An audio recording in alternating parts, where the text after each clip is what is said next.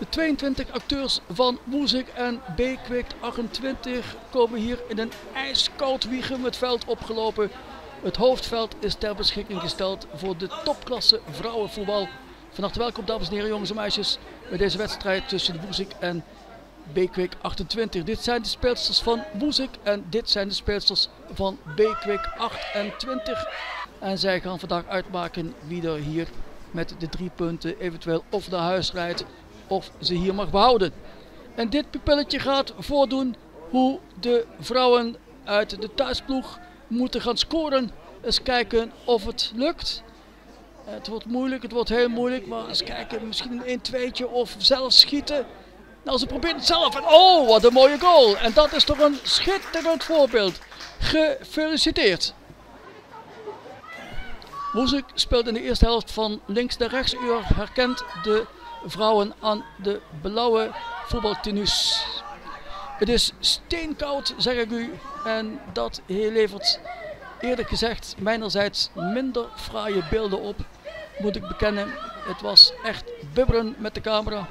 En ik probeer er het beste uit te halen. Maar mijn excuses als het af en toe een beetje misgaat. Eerste balbezit voor Woezik. En dan is er een inworp voor de thuisploeg.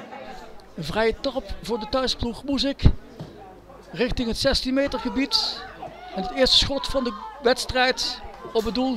Maar dat is geen probleem voor de reserve doelvrouw van Beekwijk 28. De eerste doelvrouw is gepromoveerd naar Heerenveen.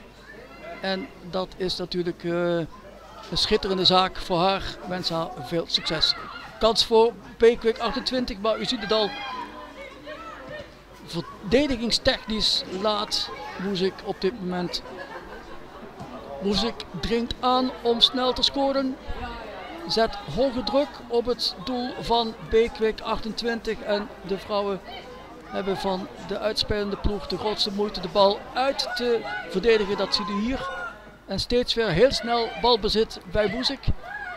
En dat gaat op een gegeven moment tot deze 1-2 leiden. En dan een schot op goal. Het eerste en de lat. Daar heeft Beekwik 28 een engeltje op de lat. En zij hebben geluk dat ze hier niet met 1-0 voorkomen. Nogmaals, de vrije trap. De druk is enorm hoog op het doel van Beekwik 28. Een hele mooie wedstrijd. Het liefste had ik hem van de eerste tot de laatste seconde uitgezonden. Omdat gewoon heel veel vlijt hier op het veld werd gepresenteerd door de 22 acteurs. Echt petje af voor deze prachtige wedstrijd. Het was op een gegeven moment echt wel hartverwarmend. Alhoewel, op de tribune was het niet bepaald warm te noemen. Ik heb het na afloop geweten. Hier nogmaals het balverlies. En dan ziet u zo meteen een hele mooie 1-2. En dan het schot op goal. En de lat redt dan Beekwik 28.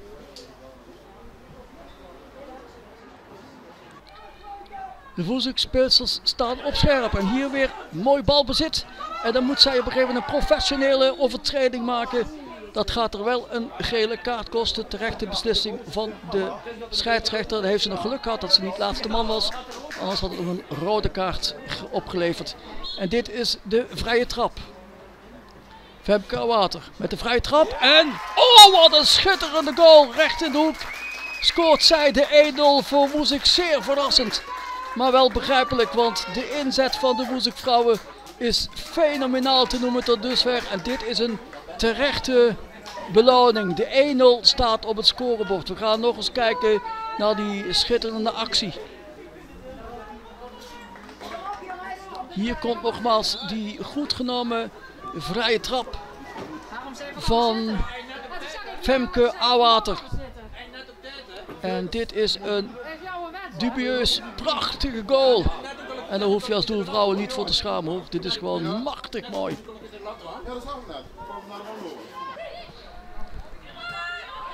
Moezik heeft niet genoeg aan 1-0, wil meer veiligheid hebben en zet de kracht op het doel van Beekwijk 28 voort. Maar deze doelvrouwen is niet voor niks op een gegeven moment plaatsvervanger van de eerste doelvrouwen. En heeft voortreffelijk gekiept, vooral in de eerste helft moet ik zeggen. De druk blijft hoog op het doel van Beekwijk 28. Mooie actie hier. En dan een mooie paas. En dan gaat die bal richting het 16 meter gebied. Komt daar de voorzet. En dat levert in eerste instantie nog geen doelpunt op. Maar dit zijn mooie acties van de speelsters van Woezik. Ze weten echt het team van Beekwijk 28 regelmatig op het verkeerde been te zetten. Waardoor ze snelheid kunnen maken en mooie acties op het veld kunnen presenteren. Het publiek geniet er volop van. Geen buitenspel hier. Maar de afwerking leidt dan niet tot de 2-0 tot dusver. Het is in Michem eenrichtingsverkeer. Kijkt u maar eens hoe ze laat geen gras over de bal groeien. Iedere keer probeert ze die bal weer te pakken. Is dit een overtreding? Nee, zegt de scheidsrechter. Hij laat doorspelen. Maar zie de reservedoelvrouwen. Weet precies op een gegeven moment hoe je moet omgaan. En hier een mooie kopbal en een schitterende redding van haar.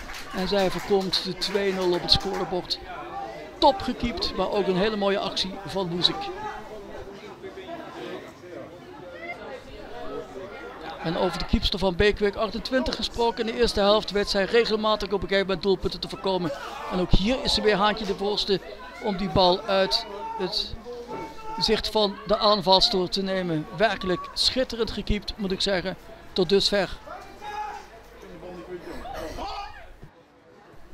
Beekwijk 28 probeerde het dan wel op een gegeven moment voor een aanval in te zetten. Maar tot het 16 meter gebied komen ze nauwelijks. Want de ploeg, thuisploeg is op een gegeven moment op alle fronten de baas over de wedstrijd. En hier zie je al, het lukt van geen kant. Een totale onderschatting heb ik ook vernomen van een speelster na afloop van deze wedstrijd. De Beekwik 28 hadden nog een super mooie wedstrijd tegen Ajax gespeeld. En een mooi resultaat op de grasmat gelegd. Maar dit is op een gegeven moment uh, wat de realiteit is. En hier gaan ze weer richting de goal.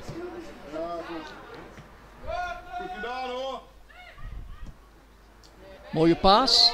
Cynthia Hartendorf en zij maakt een schitterende goal.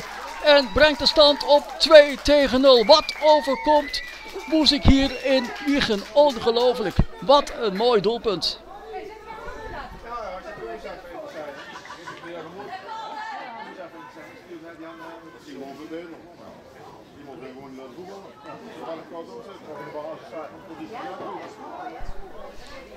Gaan we nog eens kijken naar die actie van Woezik. Waarbij Cynthia Hartendorf het zijn op wat veiliger zet voor de thuisploeg. Hier komt zo meteen de Pasen dus in de beelden niet te zien of Cynthia Hartendorf daar buitenspel staat. Dat lijkt voor niet. En hier kan ze op een gegeven moment met een volley meteen de bal op een gegeven moment in de net te deponeren. Ja, schitterend.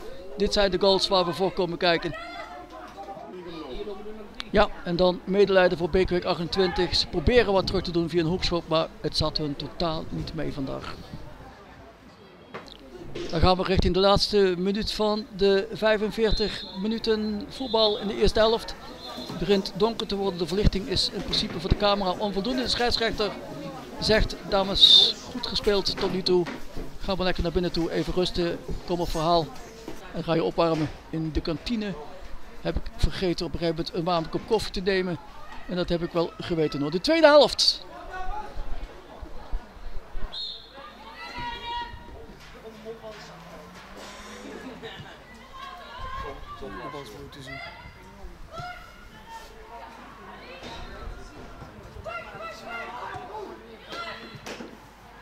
Beekweek 28 staat in de middenmotor en zou zeggen van ze staan redelijk veilig.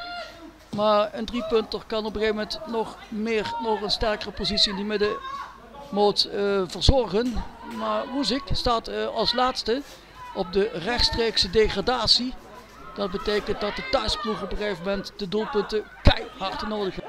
Lara Kasberg krijgt hier de bal, schiet op de goal en een doelpunt. En u ziet het door de kou. Op een gegeven moment schiet ik uh, met de camera Pardoes te ver naar links toe. Mijn excuses aan Lara dat dit mooie doelpunt niet volledig in beeld gebracht is. Maar zij scoort wel de 3 tegen 0. En dan lijkt Woezik toch wel op een gegeven moment de wedstrijd binnen te hebben. Nogmaals probeer ik u met een herhaling het doelpunt te laten zien van Lara. Mooie actie van haar.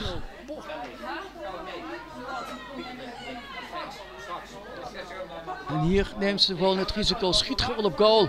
Ja, dit is een mooie doelpunt. De doelvrouwen kwam nog even met de vingertoppen aan de bal, maar dat was niet voldoende. 3-0.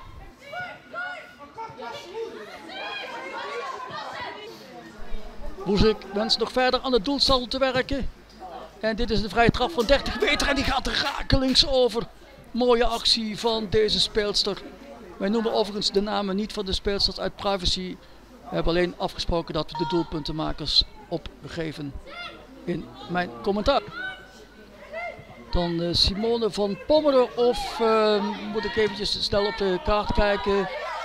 Marion van Pommeren of uh, Simone van der Linden. Die scoort hier de 4 tegen 0. Mooie goal. Maar wel een blessure. Het is niet zeker wie dat was op een gegeven moment. Ik kan de spelers niet uit mijn hoofd. Ben ik heel eerlijk in. Ik krijg geen uh, lijst van de rugnummers en dergelijke. Dus ik kon het niet controleren. Ik heb het ook van hun doorgekregen. Maar in ieder geval is dit wel een mooie actie van Woezik. En de 4-0 staat op het scorebord hier nogmaals. En dan kan ze de doelvrouwen passeren. Maar raakt ze wel, raken ze allebei geblesseerd. Gelukkig kunnen ze na een blessurebehandeling allebei het spel vervolgen. En de felicitaties zijn dan ook terecht. 4-0. Ja, en dan is de wedstrijd eigenlijk volledig binnen voor Boezik.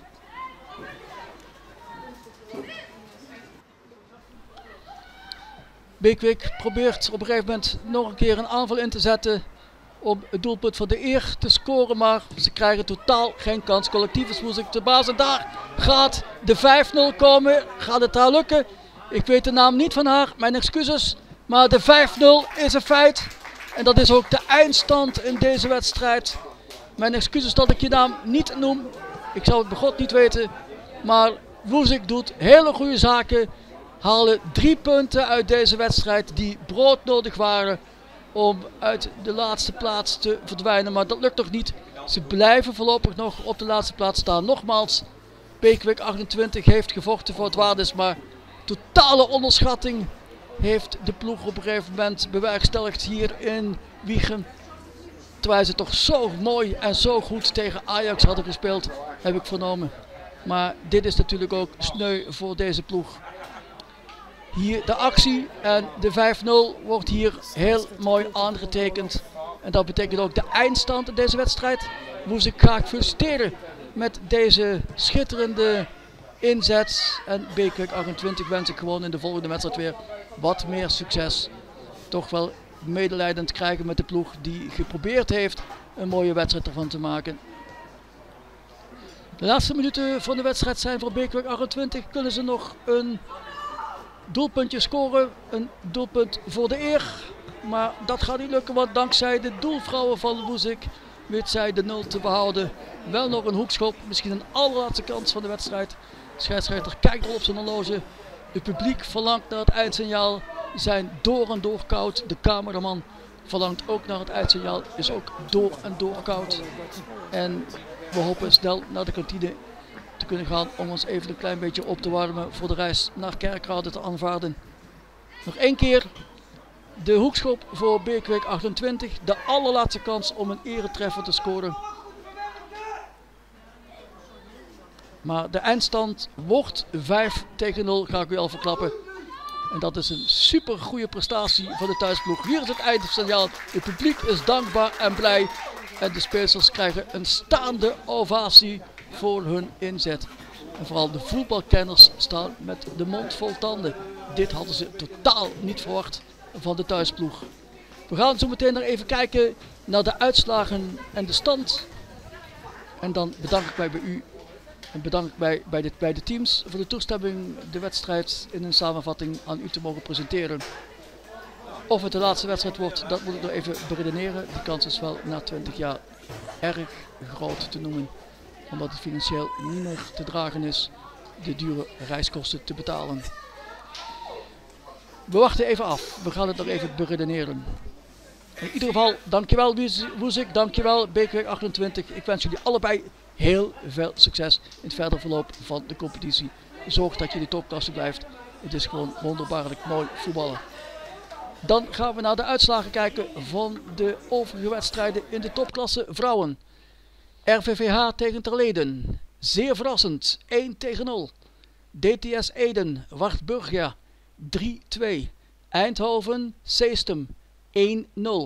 Woezik. Bekwik, zojuist gezien. 5 tegen 0. En dan gaan we kijken naar de stand als de techniek dit ook laat zien. En dan zien we dat Seestem aan kop gaat. De grootste kans maakt om kampioen te worden dit seizoen. En dat Eindhoven nummer 2 is met maar 3 punten achterstand. Gevolgd door de kampioen van vorig jaar DTS Ede. Hebben 4 punten achterstand. Als is nog mogelijk. Dan een groot gat naar RVVH dat vandaag goede zaken deed. En ook Terlede en Eldelia, Beekwik en Warburgia zitten nog redelijk safe. Maar onderaan SS18, Rijnvogels en Woezik moeten vechten om de degradatie te ontlopen. Mijn naam is Gierbouwens. Ik bedank me bij u voor het kijken. Ik groet u. Ik wens u het allerbeste. Pas goed op jezelf en heel veel succes in de toekomst. Tot ziens. Dankjewel.